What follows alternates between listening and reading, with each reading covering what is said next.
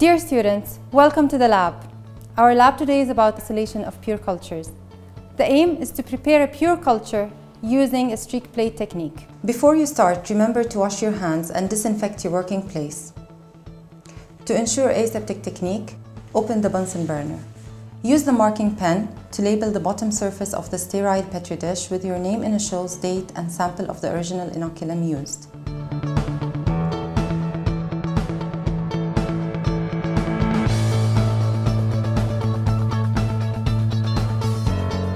Then, draw lines to divide the plate into four quadrants and number them 1, 2, 3, and 4. Sterilize the loop before you use it and wait until it's red hot. Remember to cool it before transferring an inoculum from the original sample to your agar plate. Obtain a loopful of the mixed culture from the original sample, but be sure to use aseptic transfer technique by sterilizing the inoculating loop. Streak the inoculum into the first quadrant as shown in the video.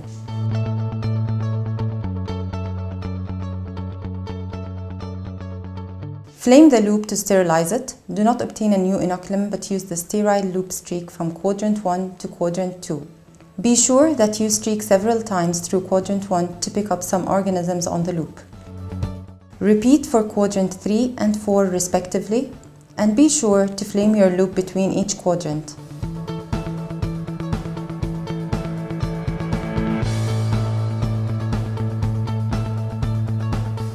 Finally, flame the loop to disinfect it and leave it on the bench. Put the agar plate in the incubator for 24 hours. Remember to place the plates inverted in the incubator and set it at room temperature. When you finish, keep your working area clean and tidy and close the Bunsen burner. Observe your findings and record what you see. You are supposed to find pure colonies in quadrant 4. Thank you.